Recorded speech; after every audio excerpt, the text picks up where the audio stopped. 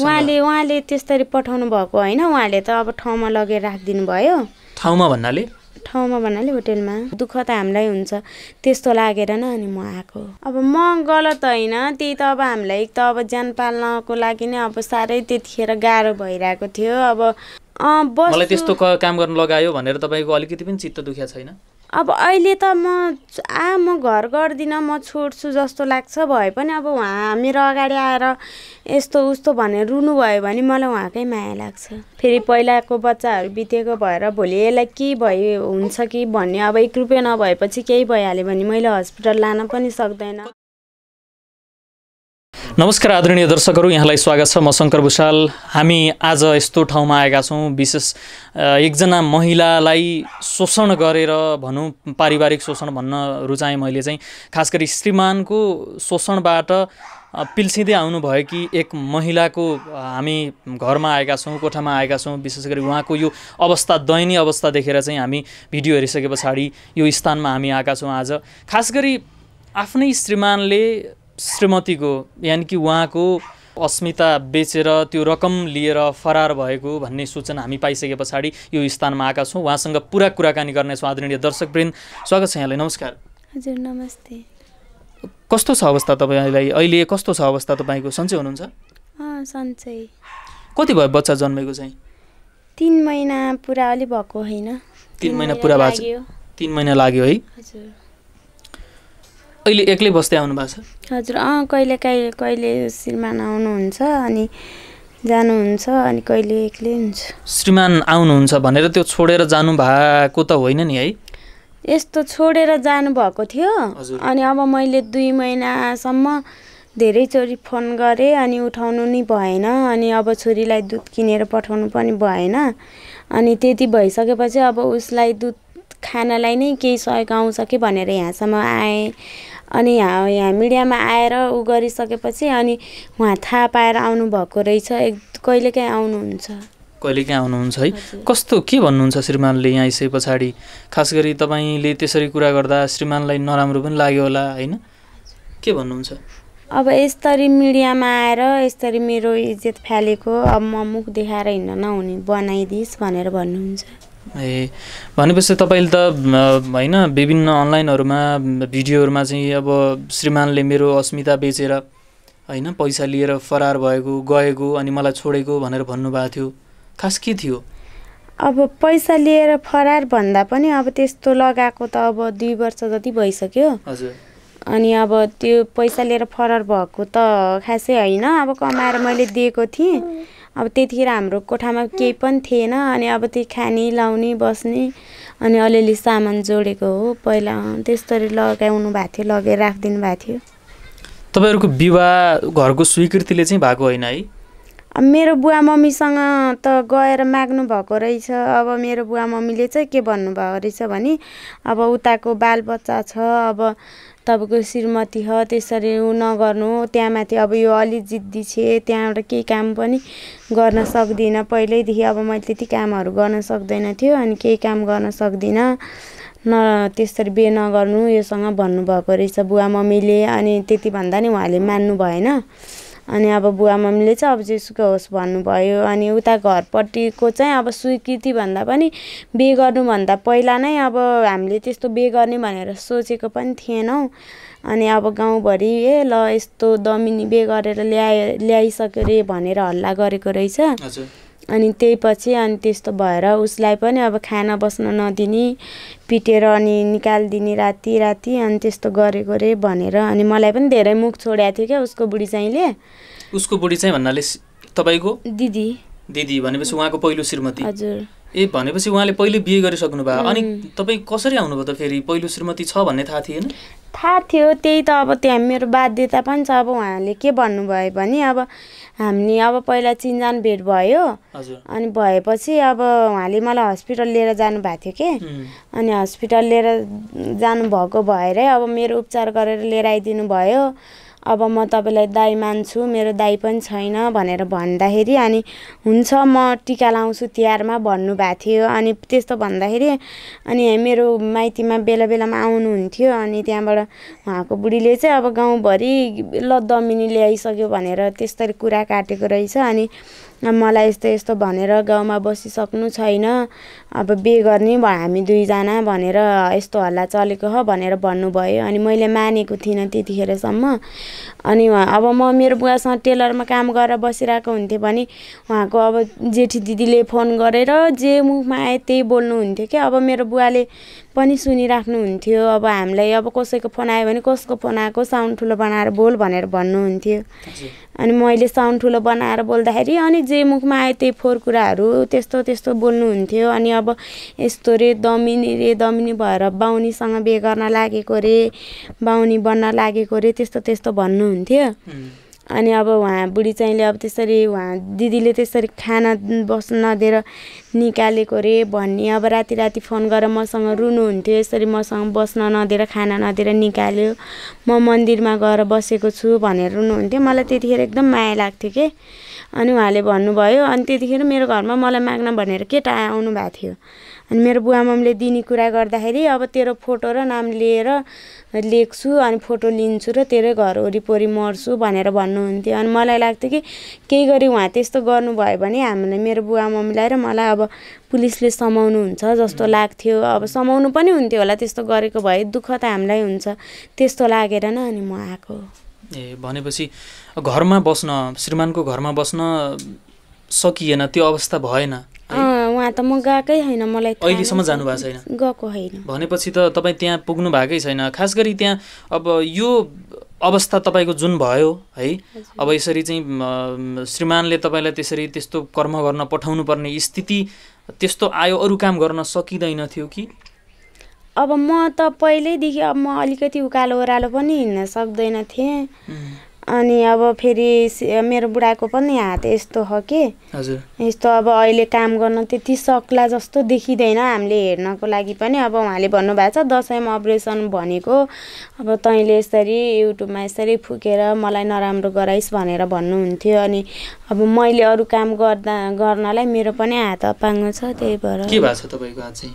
भाँचिएको। ए भाँचिएको है। हजुर। ए त्यो त्यस्तो काम नै गर्नुपर्छ त्यसरी चाहिँ अस्मितै बेच्नुपर्छ भन्ने त थिएन होला खास गरी। तपाईँले कसरी मान्नुभयो त्यो त्यो त एकदमै घटियै काम हो नि त एउटा श्रीमानले आफ्नो श्रीमतीको। अस्मिता अरूको सामु अरू परपुरुषसँग बेच्न कसरी सक्दो हो? तपाईँलाई केही लागेन? खास म यस्तो गर्दिनँ। म अरू नै गर्न सक्छौँ नि हामी घर नै जान सक्छौँ अथवा अरू व्यवसाय पनि गर्न सक्छौँ। केही लागेन? त्यतिखेर मनमा कसरी सक्नुभयो? अब घरमा जान जान्छौँ जाउँ भन्नलाई अब मैले भन्दैन थिएँ किनकि हामीलाई अब सानो जात बिहे गरेको भनेर उहाँलाई र मलाई नै घरभित्र लानुहुन्न।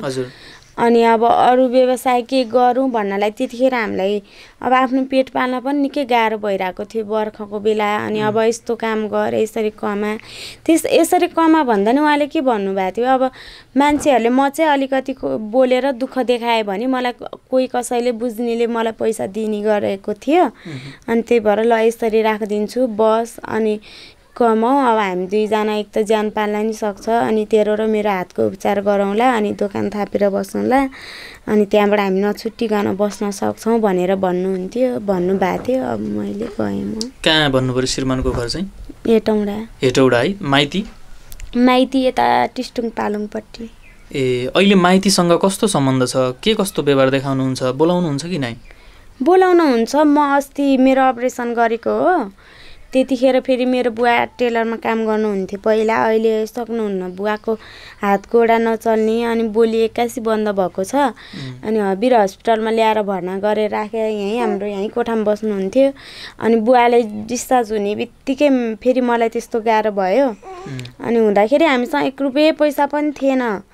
अनि बुवासँग अलिअलि रहेछ अनि दिनु बुवा म तिर्छु भनेर मैले मागेर अपरेसन गरेर अनि पन्ध्र दिनको दिनमा माइती गएँ। बुढो बुढो छोरी म सँगसँगै बुवा मम्मी सँगसँगै गयौँ। अनि छोरीलाई बिसन्चो भएको जस्तो लागेर नस्याहार्न नजानेको होला भनेर गएको अनि वहीँबाट हिँड्नु भएको हो श्रीमान। यहाँ बस्न लागेको चाहिँ कति भयो यो घरमा? यहाँ बसेको एक वर्ष अलिक बढी भयो। एक वर्ष अलि बढी भए कति तिर्नुहुन्छ भाडा चाहिँ? भाडा तिर्नु पर्दैन झ्यालडोका भए त पो भाडा तिर्नु यस्तो घरमा के ए? झ्यालडोका पनि छैन है। झ्यालडोका नभएको घरमा यस्तो तरिकाले बस्नु भएको छ। खानाको लागि चाहिँ के छ? कम कसले ल्याइदिनुहुन्छ कि श्रीमानले आएर दिनुहुन्छ कि? दिनुभएको छैन। अब खोइ अब के को औषधि खाएर अस्ति आउनु भएको थियो। अनि मैले देखेको थिएँ औषधि खाइरहनु म बिरामी छु भन्दै हुनुहुन्थ्यो क्या अरे औषधि खाएको पनि देखेको थिएँ मैले। अनि अब मेरो अहिले हातले काम गर्न पनि सकेको छैन म त्यही तै पनि सकेँ भने काम गर्छु भनेर कामको खोजीमा चाहिँ छु भन्दै हुनुहुन्थ्यो। दिनु भएन। एक रुपियाँ मैले अझ झुक्काएको हो भने हो कि भनेर मलाई र छोरीलाई स्याहार्नुहुन्छ भनेदेखि ऊ म मिडियामा अब ऊ गर्दै इन्टरभ्यू दिन्न भन्दाखेरि अनि मसँग एक रुपियाँ पैसा छैन त अब पोते उनेर भने पनि छोरी र तेरो पेट पाल। मेरो अपरेसन भएपछि म स्याहार्छु हेर्छु भन्नुभएको छ। के भएर रहेछ खास? अपरेसन भन्नाले? अपरेसन भनेको हात। हातको हातकै समस्या है। भनेपछि त तपाईँलाई खाना पनि अहिले समस्या नै छ है। एकदम समस्या अब। एक्लो ज्यान छैन बच्चा पनि छ बच्चा सँगसँगै आफू पनि पालिनु छ। तपाईँ दुवैजना सँगै बस्नुहुन्छ होइन बच्चा र तपाईँ। तपाईँको बहिनीलाई पनि हामी देखिरहेको थियौँ। बहिनी कि दिदी? बहिनी बहिनी उहाँ चाहिँ कहाँ बस्नुहुन्छ? खसी बजारमा बस्छ। ए उहाँबाट केही सपोर्ट छ कि छैन? माइती पक्षबाट पनि त केही हेल्प भएको होला नि है। अब सपोर्ट भन्नाले अब खोइ आएको छैन अनि मैले अस्ति भने आइज न अब मैले पानी खान पनि पाएको छैन अनि अब भर्खर अपरेसन गरेको भएर अलि जारहरू बोक्न पनि अलिक डर लाग्छ मलाई। अनि आइज न एक जार पानी ल्याइदिया हो मैले बोक्न सक्दिनँ माथिबाट ल्याउनुपर्छ भनेको भ्याउँदैन भनेर आएको चाहिँ छैन। हजुर। त्यो तपाईँलाई त्यसरी श्रीमानले पठाउँदा तपाईँको त स्वास्थ्यमा पनि अब समस्या आएको होला। कस्तो कस्तो समस्या देखिया थियो त्यो त एकदमै गाह्रो भयो होइन। खास गरी तपाईँलाई अब त्यो अरू काम गर्न हातले दिएन। त्यसैको विकल्पका लागि तपाईँ त्यस्तो सहर्ष स्वीकार दिनुभयो। म जान्छु अँ जान्छु त्यस्तो म ठिक छ गर्छु भन्ने त त भएन होला पक्कै पनि। अब मलाई फेरि अब उहाँको असाध्यै माया लाग्थ्यो क्या। अब न अब श्रीमानको मायाले त्यस्तो गर्न कसरी सकियो त फेरि? अब आफ्नो बुढो भइसकेको भन् पनि भन्ने पनि भयो एउटा। अनि अब अरू काम त अब के पाउँछ? अब के लेबर काम गर्नु पऱ्यो लेबर काम मैले गर्नै सक्दिनँ। म एकछिन उभिन पनि सक्दिनँ। पाँच मिनटबाट बढी उभिन सक्दिनँ रिङ्गाटे लाग्छ मलाई। हजुर। पहिल्यैदेखि अनि त्यहाँबाट त्यही भएर अब यस्तो गरौँ। अनि पछि गएर हामी दुवैजना दोकान थापेर यसरी बस्ने भन्नुभयो। अनि त्यसरी काम गर्नुभयो हजुर। त्यो पैसा लिएर गएको भन्ने कुरा चाहिँ के हो श्रीमानले तपाईँले कमाएको?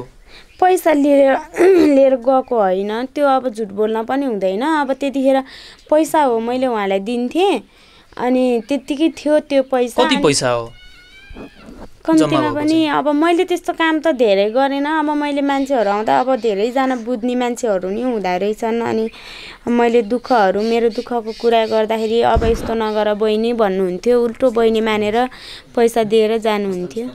कस्तो कस्तो मान्छेहरू तपाईँको सामु आउनुहुन्थ्यो? खास अब भनौँ दुःख बुझ्ने त भनिहाल्नु भयो है कस्तो कस्तो मान्छेहरू भन्नाले तपाईँको श्रीमानले तपाईँसँग डाइरेक्ट कन्ट्याक्ट कन्ट्याक्ट गराउनु भयो कि उहाँसँग सम्पर्क भए चाहिँ तपाईँ उहाँले उहाँले त्यसरी पठाउनु भएको होइन? उहाँले त अब ठाउँमा लगेर राखिदिनु भयो ठाउँमा भन्नाले? ठाउँमा भन्नाले होटेलमा। होटलमा है? काठमाडौँमै हो कि? काठमाडौँमा। ए हेटौडामा है?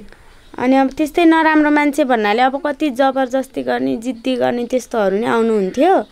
उहाँहरूसँग चाहिँ म झगडा गरेर मैले निकालिदिन्थेँ। हजुर। अनि अब बुझ्ने मान्छेहरू जस्तो लाग्यो भनेदेखि आफ्नो दुःखको कुराहरू गर्थेँ अनि यस्तो नगर बहिनी भन्नुहुन्थ्यो अनि दुई तिन हजारसम्म दिएर जानुहुन्थ्यो। दुई तिन हजार दिनुहुन्थ्यो। हजुर।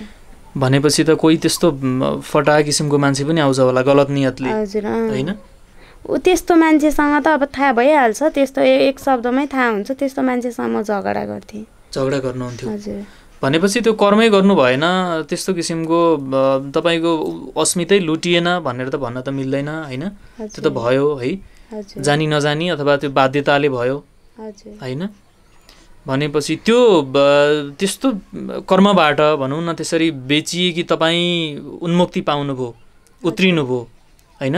त्यो त्यो स्थानबाट त्यो भेलबाट। मैले यसरी बुझेँ। अहिले चाहिँ त्यस्तो कर्ममा हुनुहुन्न है। अहिले अहिले अब त्यो त्यहाँ पछि न अब त्यो त दुई वर्ष भइसक्यो। अहिले अब दुई वर्ष दुई वर्ष भइसक्यो। दुई वर्षभन्दा यताको समय अब एक वर्ष त यहीँ बस्नु भयो त्यहाँभन्दा एक वर्षभन्दा पहिलाको समय कहाँ व्यतीत गर्नुभयो त? कसरी बस्नुभयो त? त्योभन्दा पहिला रामकोटमा बसेका थियौँ हामी। हजुर। रामकोटमा बसेको थियो राम्रै गर्नुहुन्थ्यो र त्यो एक महिना होइटाउनमा त्यस्तो गरेको। त्यहाँबाट पछि पनि राम्रै गर्दै आउनु भएको थियो। अब अहिले किन त्यस्तो गर्नुभयो? अहिले फेरि नजिक हुनुहुन्न तपाईँको।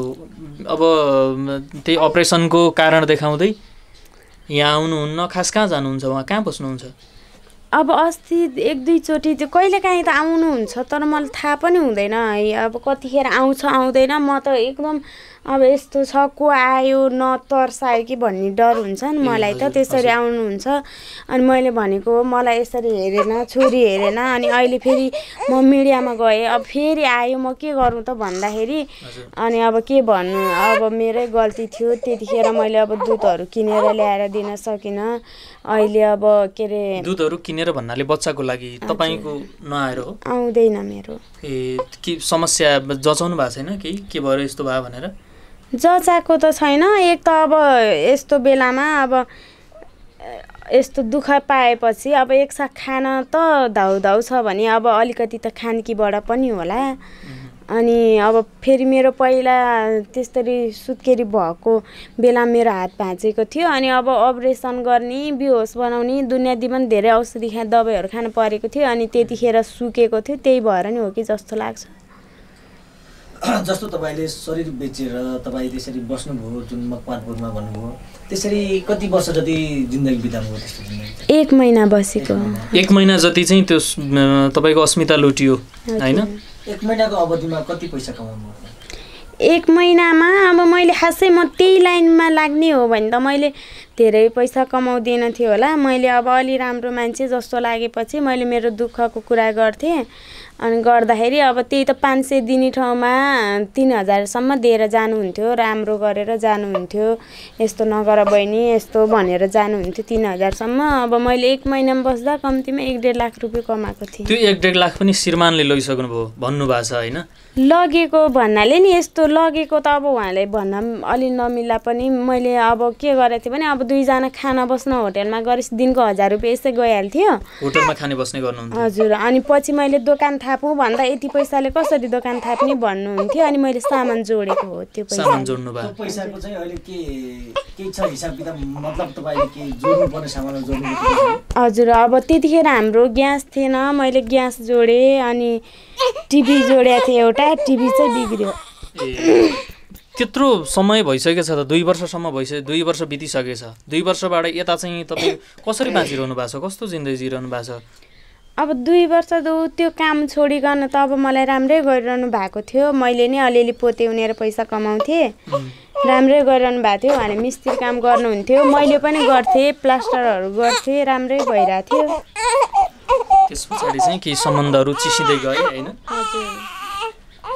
भनेपछि एकदमै दुःख लाग्दो दुःखद कथा छ आदरणीय दर्शकवृन्द खानको लागि त एकदमै समस्या छ दुःख छ।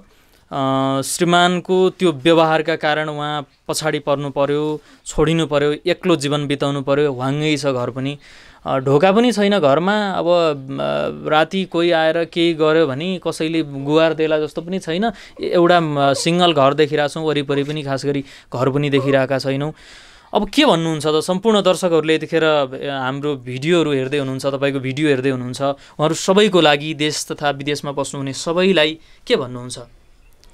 अब हेर्नु भयो मन पराउनु भयो भने अब सहयोग गर्नु। अब छोरीलाई र मलाई त एक त ज्यान पाल्न समस्या छ। अब फेरि पहिलाको बच्चाहरू बितेको भएर भोलि यसलाई के भयो हुन्छ कि भन्ने अब एक रुपियाँ नभएपछि केही भइहाल्यो भने मैले हस्पिटल लान पनि सक्दैन। कति कति महिनाको भयो बच्चा चाहिँ? यसले तिन महिना पुरा अलि भएको छैन। तिन महिना अलि पुरा भएको छैन है? सुत्केरीको यो समयमा त तपाईँले गाह्रो काम गर्नै हुन्न। पकाउने खाने आफै गर्नुहुन्छ? कि कोही बहिनी हुनुहुन्छ होइन पकाउँछु। मैले माइतीमा हुँदाखेरि त अब कहाँ कहाँदेखि टाढाबाट गाग्रीमा पानी पनि बोकेँ तर मलाई अलिक गाह्रो चाहिँ भएको थियो। गाह्रो चाहिँ भएको थियो। अब गाह्रो भइहाल्छ किनभने अब तिन महिना साढे तिन महिनाको त बच्चा भएको छ। तपाईँहरू दुईवटा बच्चा मरेको भन्नुभयो खेराको? हजुर ए यो तेस्रो बच्चा? जन्मेरै बितेको। ए जन्मेरै बितेको। त्यही कारणले त होइन नि है श्रीमानले छोडेको। होइन त्यस्तो? होइन। अब त्यो बितिकन नि खोइ राम्रै गर्नुभएको थियो। अब अहिले अब न दुध किन्न नसक्ने जस्तो देखेर पो त्यस्तोरी छोड्नु यसले माइतीहरूले हेर्छ भनेर पो छोड्नु भयो कि त्यो अब उहाँलाई थाहा होला। खास गरी यो भिडियो हेर्ने सम्पूर्ण दर्शकहरूले तपाईँको यो कुरालाई नकारात्मक बुझिदिनु होला होइन? खास गरी अब अरू विकल्प नभएर त्यस्तो काम गर्न बाध्य भएँ भन्ने किसिमको तपाईँले जवाफ दिनुभयो। खास गरी अब दर्शकहरूले अब यस्तो बुझ्नु भएको छ कि खास गरी तपाईँको अरू विकल्पै थिएन म अरू काम गर्नै नसक्ने थिएँ। श्रीमानको त्यो मायाले गर्दा म त्यो काम गर्न बाध्य भएँ। अब नकारात्मक बुझिदिनु होला दर्शकहरूले। के भन्नुहुन्छ? कसरी प्रस्ट्याउनुहुन्छ यो कुरालाई चाहिँ? म गलत होइन भनेर। अब म गलत होइन। त्यही त अब हामीलाई त अब ज्यान पाल्नको लागि नै अब साह्रै त्यतिखेर गाह्रो भइरहेको थियो। अब उहाँलाई मैले माया गर्थेँ। उहाँले यस्तो गर भन्नुहुन्थ्यो। अब म पनि यस्तो अब काम गर्न अरू काम मैले गर्न सक्दैन होइन। मैले केही गर्न पनि सक्दैन। दिदी बहिनी माइती पक्षलाई थाहा थियो कि थिएन यो यस्तो काम गर्नुहुन्छ भन्ने?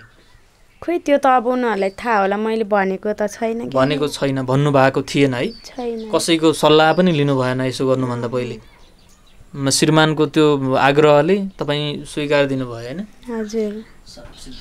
नगर्नुपर्ने थियो यो सबै होइन? अब जे भयो यसलाई बिर्सेर नयाँ जिन्दगी सुरु गर्नुपर्छ। श्रीमानलाई के भन्नु छ? श्रीमानलाई अब राम्रोसँग अब आउनुभयो बच्चालाई र मलाई हेर्नुभयो अब उहाँले त भन्नुभएको छ मेरो अपरेसन नहुन्जेल त म काम गर्न सक्दिनँ जसो तसो ज्यान पाल। पोत्याउनेर भए पनि अनि अपरेसन भएपछि म हेर्छु स्याहार्छु भन्नुभएको हो। अब मलाई यसरी मेरो युट्युबमा यसरी फुकेर मलाई मुख देखाउन नहुने बनाइस् भनेर भन्नुभएको हो। अब उहाँकै गल्तीले गर्दा म यहाँसम्म आएको थिएँ नत्र मैले दुई वर्षसम्म त कसैलाई भनेको पनि थिएन। अनि उहाँले नै अब यत्रो बच्चालाई धरि दुध नकिनेर यसरी हिँड्नुभयो। अब म त यत्रो बच्चा लिएर कहाँ के काम गर्न पो सक्थेँ र अनि तै पनि यस्तो गरी भनेर अब आत्महत्या गर्ने त्यस्तो नगर्नु। अझै पनि अब राम्रोसँग आएर हेर्छु स्याहार्छु भन्नुहुन्छ भने बरु म मिडियामा पनि बोल्न छोडिदिन्छु भन्न चाहन्छु। अझै पनि अपेक्षा गर्दै हुनुहुन्छ श्रीमान आउनुहुन्छ भनेर? हजुर। पर्खिँदै हुनुहुन्छ? हजुर। आउनुभयो भने सँगै बस्न राजी हुनुहुन्छ? अँ, मलाई त्यस्तो काम गर्न लगायो भनेर तपाईँको अलिकति पनि चित्त दुख्या छैन? अब अहिले त म आ म घर गर्दिनँ म छोड्छु जस्तो लाग्छ भए पनि अब उहाँ मेरो अगाडि आएर यस्तो उस्तो भनेर रुनुभयो भने मलाई उहाँकै माया लाग्छ। हस् हुन्छ। कुराकानीको लागि यहाँलाई धेरै धेरै धन्यवाद। सम्पूर्णले तपाईँको यो दुःख तपाईँको यो पीडा बुझेर पक्कै पनि सहयोग गर्नुहुन्छ। किनभने अब मुख जोर्नै नभइसके पछाडि भन्नुभयो तपाईँले मर्नुभन्दा बहुलाउनु निको। खास गरी मुखमा हाल्ने माड छैन अब के गर्नु? काम गर्न सकिँदैन आर्थिक अवस्था त्यस्तै छ। खास गरी अपाङ्ग पनि आफू अनि बुढो श्रीमान उहाँको श्रीमान चाहिँ वृद्ध अवस्था। सबै उपाय नै नभइसके पछाडि के त माग्नु पर्यो के त काम त्यस्तै किसिमको गर्नु पर्यो यही बाध्यताले उहाँले यो काम गर्नुभएको। आदरणीय दर्शकहरू सबैलाई म अपिल गर्न चाहन्छु आग्रह गर्न चाहन्छु उहाँको यो समस्यालाई बुझिदिनु हुनेछ र केही सहयोग सकेसम्म गरिदिनु हुनेछ यदि सहयोगी भावना राख्नुभयो भने हस् हुन्छ यतिन्जेलसम्म भिडियो हेरिदिनु भयो सबैलाई धन्यवाद दिन्छौँ। हस् म शङ्कर पनि बिदा हुन्छु। नमस्कार।